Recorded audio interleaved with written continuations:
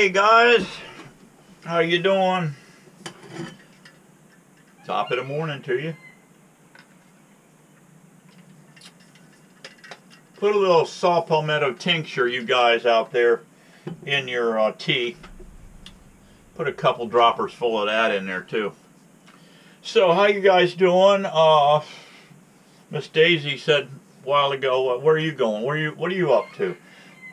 I said the same thing I do every day. Bees. She said, "My God, that's a that's like an addiction." I said, "Yeah, it uh, it is. It's an addiction. If you like something, do it. I mean, if you're not hurting anybody, do it." She says, uh, "Yeah, well, it's a good. You got a good. I guess that's a good addiction." She said, "Not like your friend." I said, "What friend are you talking about?"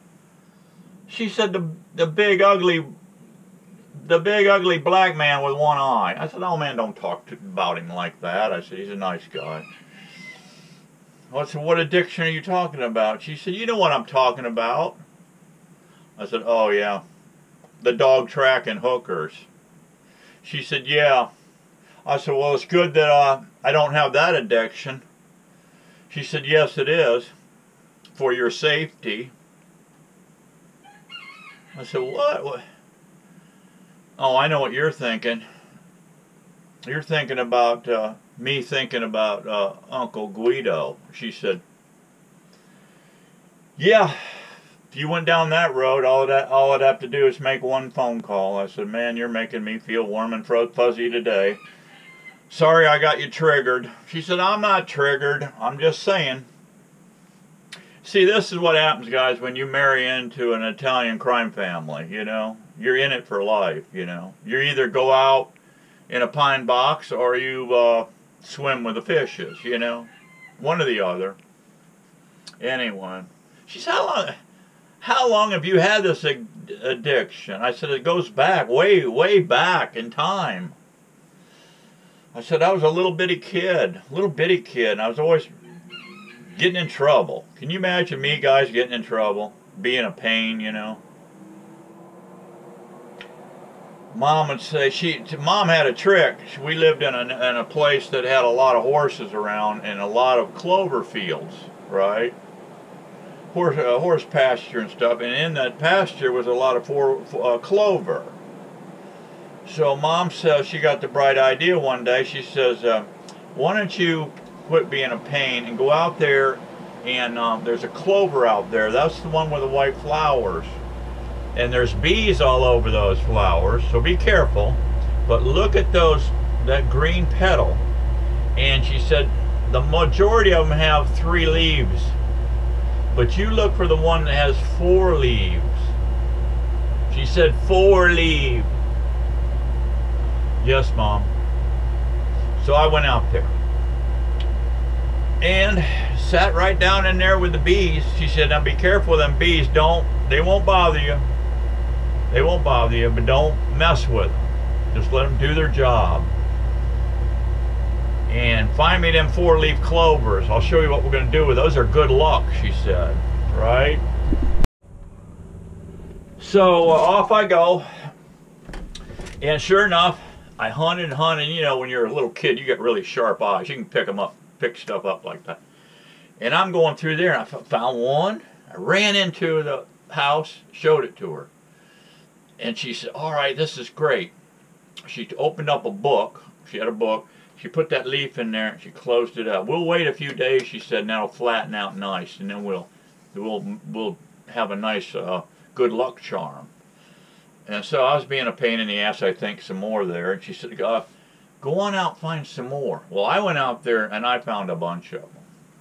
But I was sitting around, then you get, you know how kids are, they get bored. So I was looking at those bees, and I'd poke at the bees, you know. And they didn't do nothing. They just fly off. So then I came up when I grabbed it right over the whole flower and all. I had it in my hand. Before I opened my hand, that thing stung me. So I'm crying like a little baby, which I was, and went running back in the house. Mom says, you grabbed one of those bees, didn't you? I said, yes. So she ran my hand under cold water, got the sting out. I told you, but you don't listen. When I tell you things, you gotta, you know, listen. I get it now, you know. I was getting it then, see. So anyway, so that went on. And then I'm in, I'm in elementary school, clowning around. Clowning around. Can you imagine old Steve-O clowning around? I was clowning around. Class clown.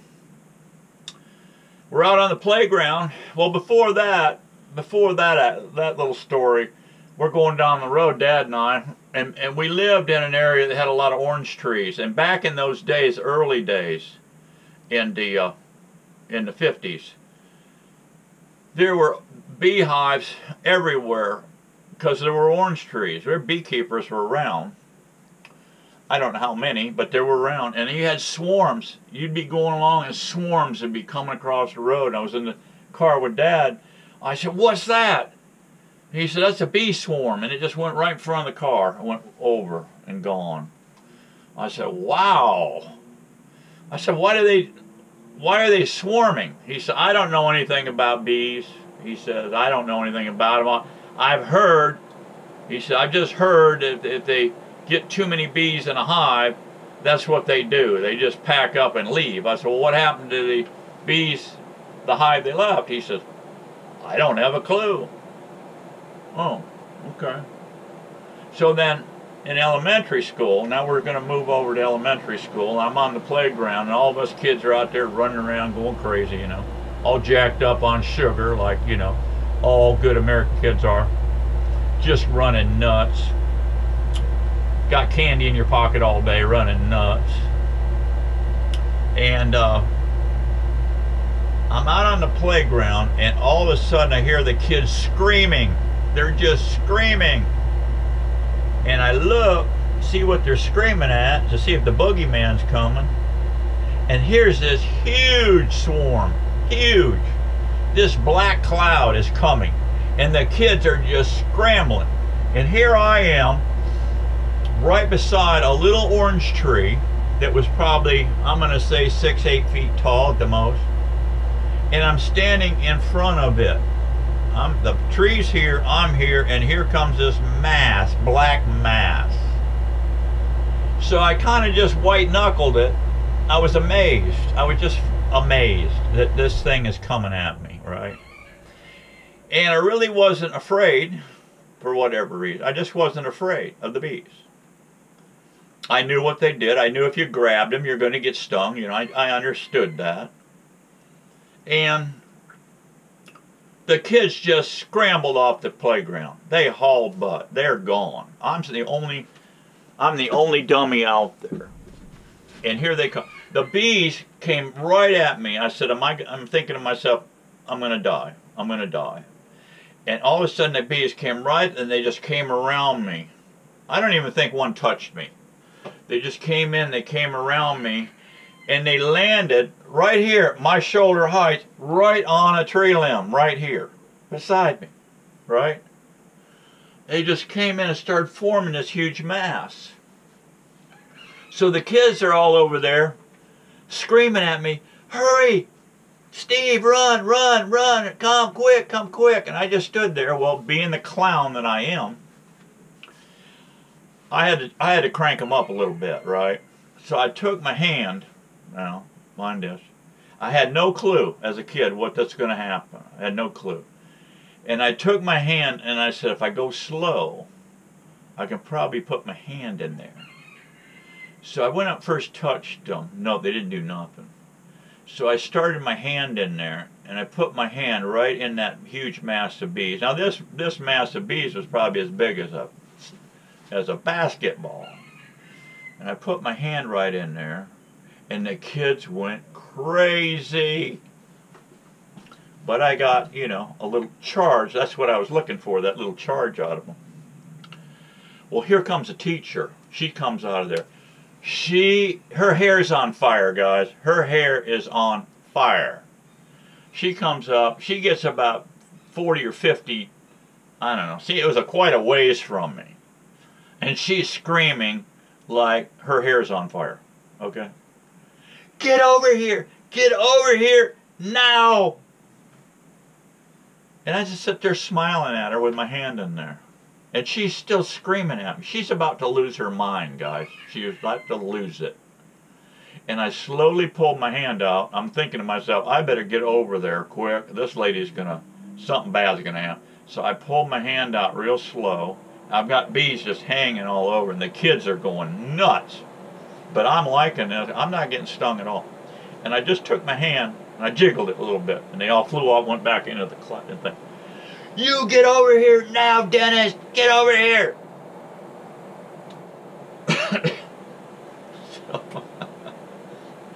so, I go over there. This lady grabs my arm, guys, and likes to yank it, almost yanked it out of the socket. Yeah, guys, she she likes to jerk my arm out of the socket you're going to the office. You have a listening problem. well, I've had a listening problem my whole life, guys. Come on, let's get real. So uh, I was thinking to myself, that's what my mom says. You got a listening problem, you know? So anyway, I go in there and she's dragging me into this friggin' uh, principal's office. Now here's this lady, this principal. Obviously, if you get that job, I don't know what it's like today with the left the liberal nut jobs, but it may be really bad now. But this lady, she was just calm and cool and everything. She said, This kid here is a problem. I told him to get in here. He's out there, got his hand in a beehive. So she had to de escalate the situation, the principal. She said, I'll take care of it. I'll take care of this boy. You go back to your class, ma'am. So the lady leaves. She looked her, got one more look on me as she's going out the door, like disgust, you know. So she shuts the door. Principal lady, she looked at me, and I'm sitting there like a little dog, puppy dog with my tail between my legs. She says, um, you were uh, showing off a little bit, weren't you, out there? And I kind of gave a little smirk, and then she kind of a little smirky smile, and I came back with a little smirky smile, right? She says, uh, you weren't afraid of them bees. I said, no, I don't, they weren't going to bother me. I knew that. Somehow I knew it. I said, I didn't know what they were or not. But I said, I didn't feel like they were, you know, going to hurt me. And she had a smile on her face, because I think she knew a little bit of something about bees you know, being a principal of a school, you know, you would have thought she would have maybe a little biology class, you know. So anyway, anyway, so she says, well, I'll tell you, I, I don't want you to go back to your class just yet. We're going to leave you in here, and uh, maybe that teacher will think I punished you. She said, you're not going to do that again, are you? I said, no, ma'am. No, ma'am. I've learned my lesson. I'm not doing that again. I was, I was like you said, just showing off. She said, yeah, I, I know. I know. She said, you don't want to, you want something to drink? I got some Coca-Cola in the refrigerator. You know, like I needed more sugar, right? She said, I said, yeah, I'd like to have that. So she said, I'd like to have one too. So she went over and got it. so, her and I had a, a little, uh, yeah, we had a little happy fizzy drink right there in her office. That was really something. Yeah, guys, so that's how it all happened. Now you got the whole story on old Steve-O and the, and the, and the bee addiction. So anyway, um, so I don't have any bee work today, but I had a little bit yesterday. I uh, I text Matthew. He's a queen breeder to my north. I've known him for quite a few years now. And a heck of a good guy. Great guy. He's running like 300 colonies, and he's a queen breeder and uh, honey producer. I asked him if he's pollinating at all, and he said no. He said, I'm to, I may split I'm trying to weigh it out. He said, I don't know if I, I'm going to make more money selling queens or am I going to make more money selling honey. So I got 300 colonies. I could bust everything today and make 600 colonies. And, uh, but anyway, I asked him when he was going to start grafting, and that was that was 12 days ago. He said, I'm starting my first graft tomorrow morning. He said, and I didn't even ask him for queens because I'm start up. I figured my operation would be going here, and uh, so I didn't even ask him for. He said, "I'll let you know if I have any extras." Well, ten. He said that'll be ten days from now. So he called me or text me. He said, "I have 35 extra cells, if you would like some." And so I got thinking about it, and I said, "You know, that that thing uh, didn't make it. They didn't make cells that I could grab from, whatever." I asked him too, do you dry or wet graft? He said, I dry graft. I dry graft everything. Been dry grafting forever. I said, you know, a lot of guys do. I said, I always thought we better make a little better queen if we wet graft. He said, he's like, nah, no.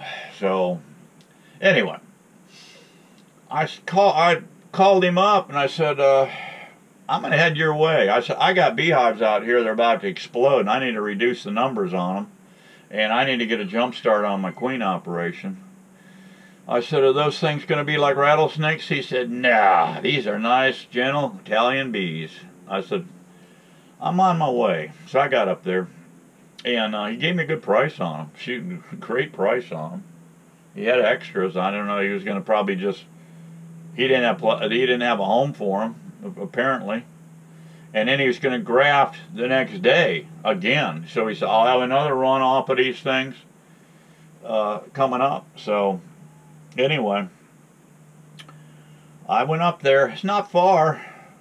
He's just lived just up above the Weeki Wachee Mermaid show up there. And uh, so I went up there and got him. So here's what I got. Here's what we got, guys. I got uh, I got 18 of them. There's 15 here, and I've got three in the back. There's extra cups back there, uh, you know. But uh, yeah, I got I got three back there, and I got 15 here. So he said they'll hatch today or tomorrow. So uh, They'll hatch today or tomorrow. So when they hatch, I'm, I'm going to have to get busy. I'm going to have to get busy and get out here and start making up. I've got I've got enough colonies in reserve here to start loading up some twos. Uh, probably go into with some twos. We'll load them up. And I'm going to try to direct release uh, uh, direct release on these. Uh, I'm going to see how that goes. I may direct release all these. But what I'll do is take a little spritz bottle like this and um, put some warm sugar water in it and maybe a, a little bit of vanilla extract. And uh, what I may do is set them up one day. As soon as these hatch, I'll go make them up, put them in lockdown. Then I'll come out the next day. That'll give them 24 hours to realize they're queenless. Then I'll open them up little puff of smoke, grab my spritzer bottle, hit them, sugar water, get them a little sticky, take my virgin, release her, let her crawl out. As soon as she crawls out, give her a little spritz and let her crawl down in. And then I'll leave them locked up for about additional two days in there and then uh, open the wire on the front entry and let them crawl. Let's see how it goes. I told Matthew what I was going to do he said, I, he said, I haven't had much luck with virgins. He said, I put in cells. And uh, a lot of the commercial guys, they don't, you know, a lot of them use, a lot of them use cell, cell protectors, you know, and some, most, majority of them don't. They just open the frame up and stick that cell right on in there in the sidewall of that thing and walk away. We've experimented quite a bit. I have had very good luck. I have not with I haven't done this a lot with virgins. Uh, I was using the cages, as you remember last season. I was using these introduction cages and leaving them in there for like three days. And you put this right over some brood, emerging brood, if you got any. But uh, I had about 50% success rate with that. So I had excellent results years past. I've told you this story before with uh, mated queens. They have a different hormonal, you know, they got more hormone smell to them. And the bees like that. They accept that when they're queenless. And what I did was the same thing. I would grab bees, maybe one day ahead, let them put them in a lockdown or move them to another yard. And I would open that hive, spritz them with sugar water, grab my mated queen, open the door, let her crawl out, pop her with a little, just a little mist, and she'd crawl down in the hole. I think I got 100% with that deal, guys. So it'll be a fun experiment to see how this will work. Then you guys will know, okay? All right, guys, that's it for today. Little story time for you, and uh, yep, a little, a little bit of bee addiction, okay? And try to stay away from. Uh, Uncle Guido. Let's keep him happy. All right, guys. I'll catch you later. Bye bye.